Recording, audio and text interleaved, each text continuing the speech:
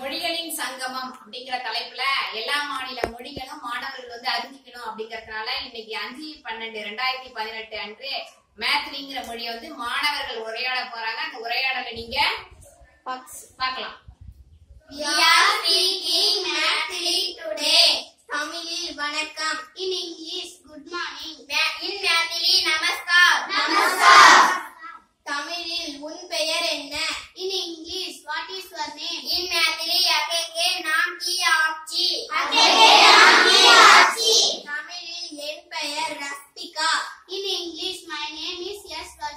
இந்நேரத்திலே